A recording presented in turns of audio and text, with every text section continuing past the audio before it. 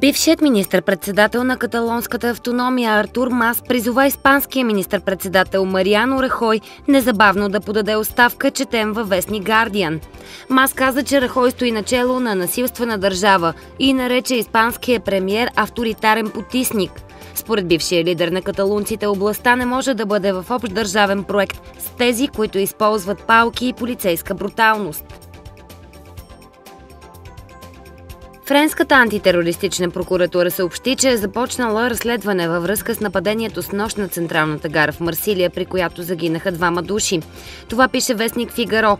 Прокуратурата в Париж заяви, че разследването ще се фокусира върху убийствата, свързани с терористични организации и с опита за убийство на държавен служител.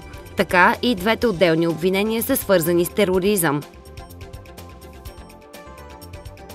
Демократическата партия осъди критиките на американския президент Доналд Тръмп към кмета на пуерториканския град Сан Хуан, предава Индипендент. Това става след като кметът на Сан Хуан заяви, че стотици хиляди пуерториканци страдат и се нуждаят от помощта на федералното правителство. Кармен Юлин Круз заяви, че във Вашингтон убиват хората на острова с неефективността и бюрокрацията си. В отговор Тръмп каза, че Пуерто Рико има слабо лидерство, което е неефективно при справянето с кризата.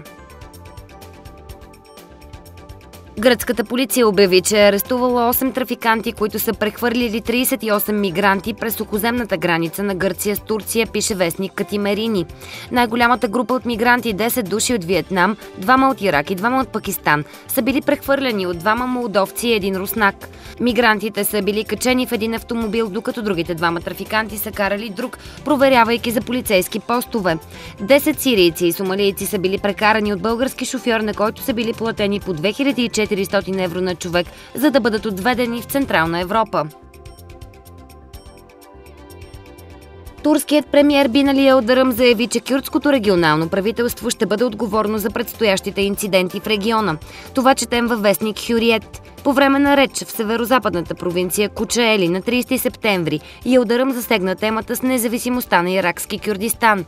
По думите му в региона живеят много други етнически групи, освен кюрдите, а кюрдското регионално правителство, без да пита тези хора, си играе с огъня с едно алчно отношение и ще бъде отговорно за предстоящите инциденти в региона, подчерта турският премьер.